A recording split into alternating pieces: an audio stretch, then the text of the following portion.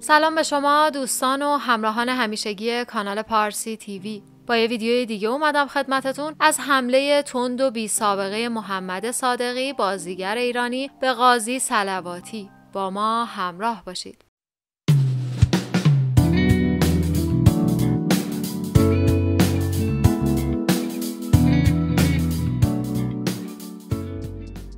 لطفا عضو کانال ما بشید و با زدن زنگوله زودتر از ویدیوهای جدیدمون با خبر بشید.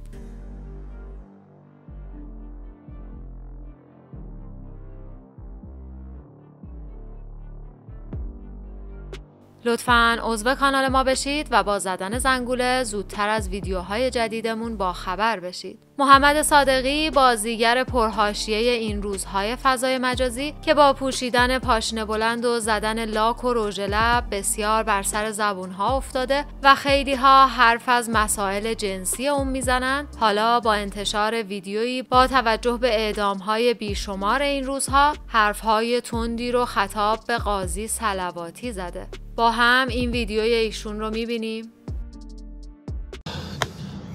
گفت ما یه قاضی داریم که زن و بچهشو کشتن. حالا سلواتی یا هر کی نمی‌دونم. اینجوری شنیدم. خب هر جای دنیا یه همچین آدمی باید بره یه جای بستری بشه. نمی‌تونه بیاد راجع به رفتار آدما و کاری که کردن قضاوت کنه. فهمی؟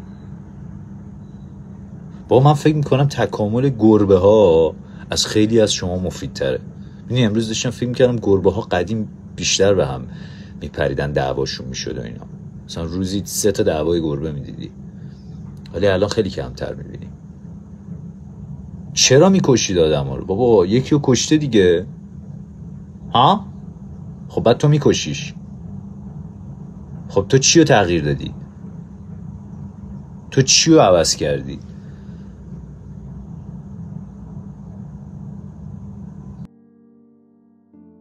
محمد صادقی بازیگر جوانی که در چند فیلم و سریال هم ایفای نقش کرده در چند وقت اخیر با انتشار عکس هایی از خودش در فضای مجازی هواشی و جنجال های زیادی را آفریده.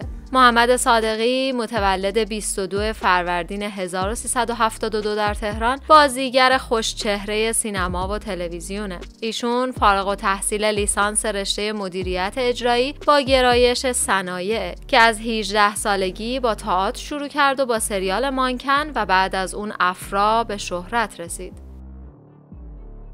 خودش در مصاحبه گفته اصالتا اهل مازندران هستم و مادرم آمولی و پدرم بابلیه. برای همین زیاد به شمال میریم. پدرم رو در هفت سالگی از دست دادم و مادرم پرستار بوده و الان بازنشسته است. از سال 1391 بازیگری رو با کلاس های استاد سمندریان شروع کردم و از ترم دوم دانشگاه وارد تئاتر شدم و یکی از شانس های زندگیم آشنایی با مسعود دلخواه بود. از جمله تئاترهایی که بازی کردم میشه به شاهلیر مسعود دلخواه آماده اوس جواد مولانیا و گالیله اشاره کنم.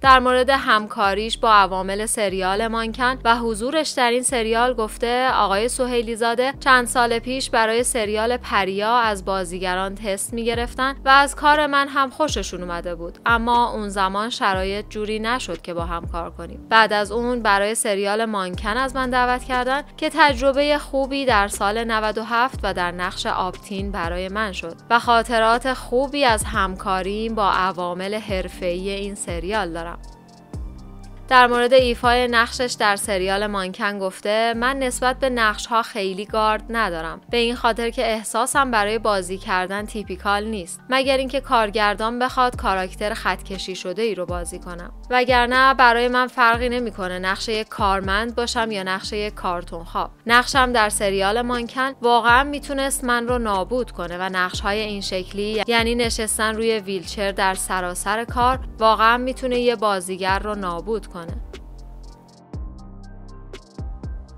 اما همکاری با آدم های حرفه‌ای مثل آقای سهیلی زادگان و آقای فروتن من رو از این سقوط نجات داد و برعکس سکوی پرتاب من شد. محمد صادقی توی تابستون 1400 با سریال افرا به کارگردانی بهرنگ توفیقی اولین تجربه بازی در قاب تلویزیون رو با نقش پیمان تجربه کرد. خودش میگه آشناییم با آقای توفیقی اتفاق مهمی در زمینه کاریم بود. برای اینکه بعد از این آشنایی احساس کردم هنوز هم هنر شکل می‌گیره. هنوز هم در سینما و تلویزیون ایران افرادی هستند که واقعا هنرمندند و به پول و این چیزها کاری ندارند. چالشی که من در مورد این سریال داشتم این بود که شخصیت پیمان در سریال افرا با شخصیت آپتین در سریال مانکن و با شخصیت خود من خیلی فاصله داشت و درک این موضوع برام چالش بزرگی بود. یه جورایی میشه گفت شخصیت پیمان یه بچه مثبت و درسخون واقعی بود. هیچ وقت دوست نداشتم وقتی اسم من میاد فقط یکی از شخصیت هایی که بازی کردم در ذهن مخاطب نقش ببنده و فقط منو با اون به خاطر بیارن. دوست دارم انقدر نقش های متفاوت بازی کرده باشم که مخاطب من رو با یک نقش خاص به خاطر نیاره. در مورد الگوهاش در دنیای بازیگری هم گفته الگوهای زیادی هم ایرانی و هم خارجی دارم. الگوهام خیلی قدیمی نیستن. به خاطر اینکه سینمای قدیم ایران رو ندیدم. از بین بازیگران ایرانی جواد عزتی، شهاب حسینی و هوتن شکیبا رو خیلی دوست دارم که وقتی حتی اسمشون میاد مخاطب خود بازیگر رو در خاطرش میاد نه نقش هایی که اون بازی کرده. آقای محمد رضا فروتن رو هم خیلی دوست دارم و بیشتر از اینکه برام الگوی بازیگری باشن بیشتر به عنوان یک روانشناس واقعی قبولشون دارم. محمد صادقی از ده سالگی رشته تکواندو رو به صورت جدی شروع کرده و حتی مقطعی به اردوی تیم ملی نوجوانان هم دعوت شده و در باشگاه سایپا هم مدتی بازی کرده.